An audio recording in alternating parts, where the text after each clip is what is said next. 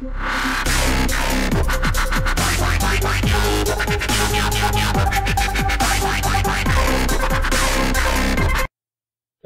dang it. Hey everybody, EX7 Mods here. I know it's been a while, but I'm back, and I never did get my cigarettes. Dad joke. Um, anyway, a couple things I wanted to share with you today. My Johnny 5 build, and I am pretty passionate about robots. Might be a career someday, but I'll never have the degrees for it, unfortunately. Um, so, in the movie, if you remember in Short Circuit 2, in the opening, they had some Johnny 5 toys, and they were actually supposed to produce those and have them as a product you could buy. And of course, that never happened, so we were teased but still a great movie. Uh, definitely a big part of my childhood. So, fast forward 30 years later, through the magic of 3D printing and good old do it yourself ingenuity, haha, childhood dreams do come true. So, yay. I'll talk a little bit about this. So, whenever I started this, I knew that I wanted him to be uh, mobile I wanted it to move, you know, not with just some facial expression features, but arms, waist. You had to totally include the laser, even though it was in the first uh, movie only. I thought about doing the toolbox, and I know technically the correct way the laser is sitting here, but I decided for um, reasons I just wanted it further down, more out of the way, kind of like a, a, mix between both movies, I guess. So the first thing I had to tackle was tracks. Um, the tracks I had to design myself, which uh, the model came from Dr. D. Jesus, which I purchased from him and then uh, I also purchased the 3D Demon model, mostly because I liked the way that the head looked. It was I felt slightly more uh, to my liking. So anyway, onto the tracks. Uh, designed these through Tinkercad, super easy tool. Anyone can do it. My first go round, um, the little bit right here, the joints would uh, continuously snap. So I ended up redesigning them for more uh, robust version. And aside from that, they're driven by servos. And the only uh, thing I have with the continuous drive servos is whenever I'm spending way too much time playing with it, the servos actually get really hot and I added heat sinks to kind of counteract that, but it got so hot that it would actually melt the uh, PLA, and you can see on this prototype it's slightly warped to the inside. Still works, just have to design a better uh, version next time. So, onward to that, I knew that I wanted to have the um, the Arduino that powers it. Update any code so you can still see the USB connection here. And then I wanted to be able to charge it with just plugging it in not having to take the batteries out constantly though I've learned since then that it would be wiser because batteries have a tendency to catch on fire. Yay technology and of course the on and off switch. Uh, so after tackling the bottom, which was the first part, get it mobile, got to work my way to the top. And keep in mind this is a, a prototype. The next version I make will be a lot cleaner. So right here you can see the spine of wires going up all the way to the head, to the laser, the arms, just nothing special about them other than they're just micro servos.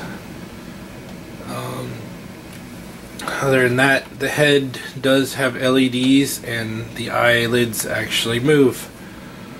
I wanted to give it at least some semblance of robotic motions and expression.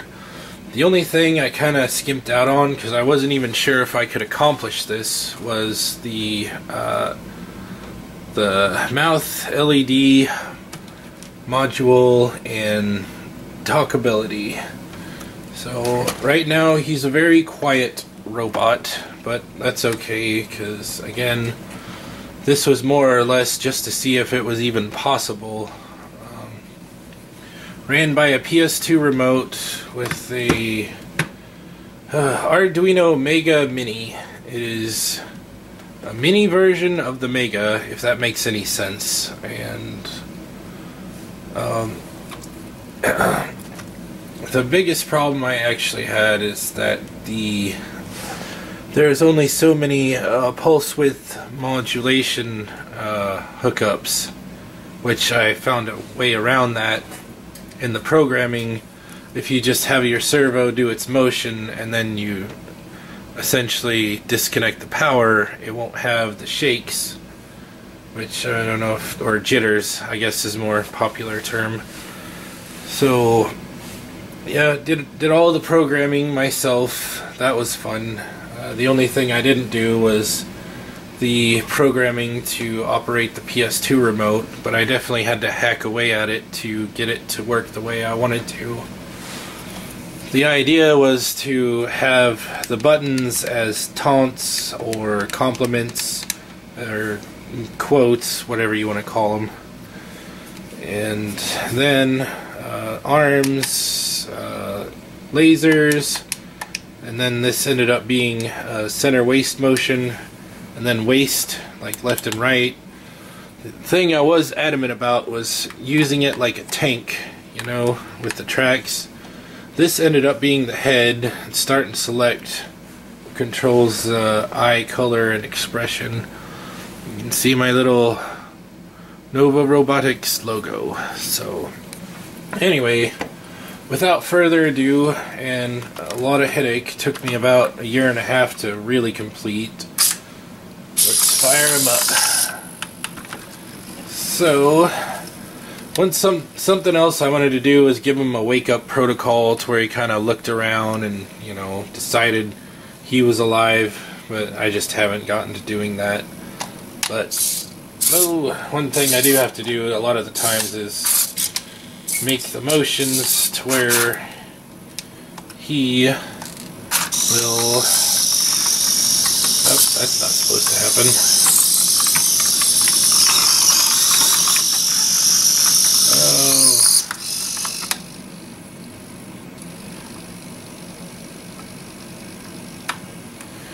Sorry, had to tune the servo.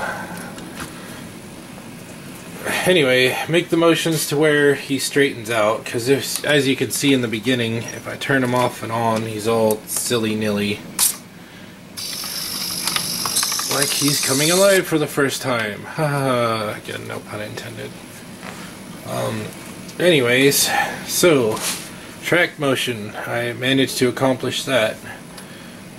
Get him straightened out do the arms. And away we go.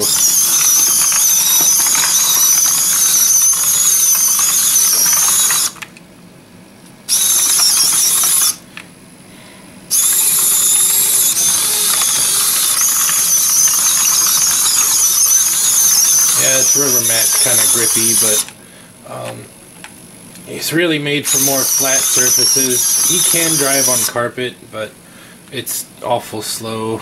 I kind of wish I would have considered the range of motions because I know on the original um, the robot that's again not right. I wonder why that keeps happening.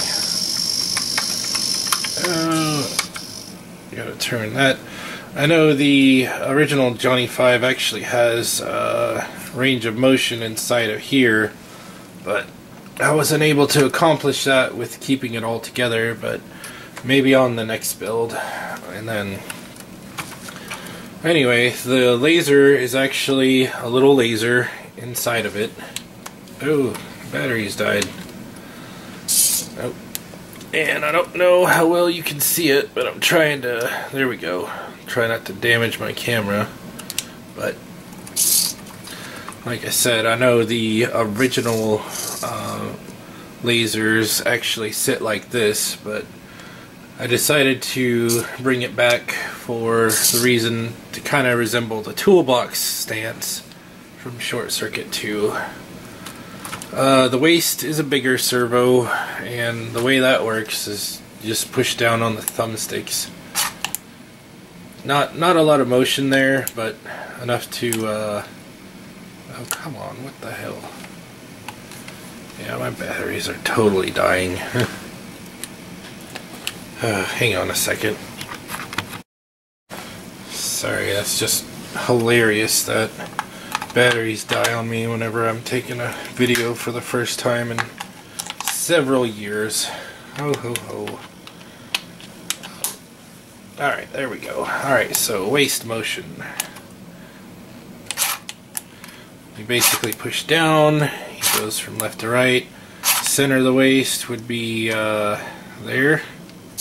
Oh, no, right, left and right, confused. There we go center that waist and he's back in a normal stance the arms uh, have a little rod here to kind of help with the motion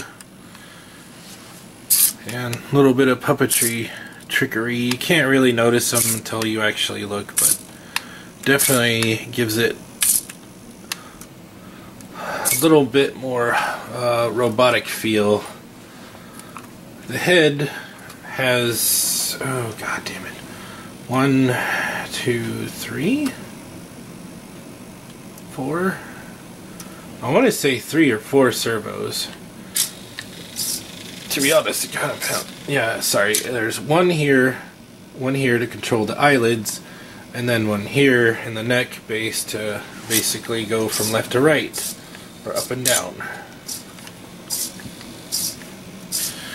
And then start and select are your expressions. So he goes from being happy to being angry. Happy, angry, happy, angry. Um, the only thing in the programming side that I struggled with is that Arduino uh, is not a very strong uh, microcontroller. Um, but um, the I mean I made it work but you could see the response time is not that good like if you watch this what is about a, almost a three second delay um, and it varies sometimes it goes quicker sometimes slower but if you get like carried away with it. The motions work well enough, but it's not instantaneous, which is sad. But I figure down the line, I'll probably get into uh, writing a more clean code for the Arduino.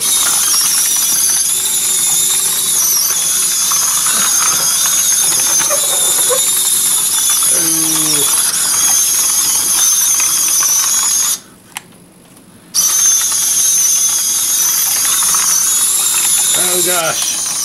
Yep, that's the other thing too. Do not drive him off the table. Oh. Anyways, there you have it. Uh, Johnny 5 hand-built prototype. Eventually I will make a cleaner version, but as much time as it takes to do it kind of on the back burner and I'm buried in projects right now. But hopefully I'll share some more with you guys soon. Uh, happy early new year 2022 and hopefully hopefully you guys are doing well. Thanks for all the support, especially over the last few years. To the diehard fans who never really gave up on me. Oh, thanks. Peace.